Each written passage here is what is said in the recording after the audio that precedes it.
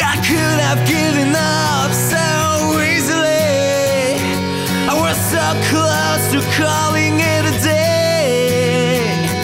Some may feel lucky for dancing in the dark or singing like nobody cares. It's been 13 years of chasing ghosts, running for the stars. 13 years of fucked up birds and singing about my scars. It's hard to keep track of what is left to sacrifice. It's even harder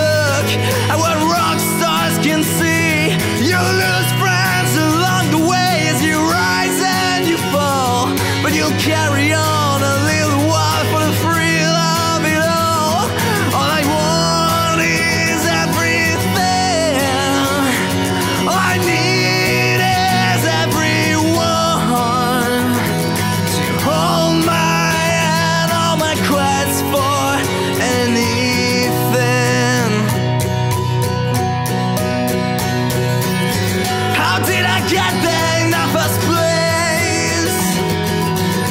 And was I meant to do this thing? How do I keep up the pace? When I think nothing's worth trying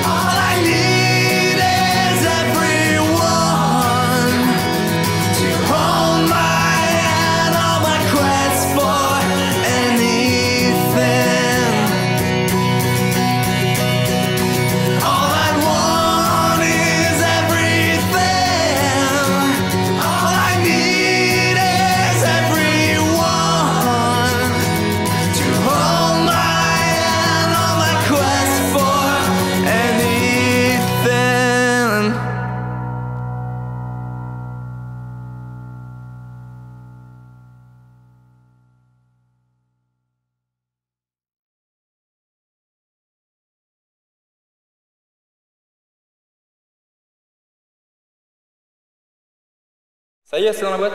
Bravo à tous.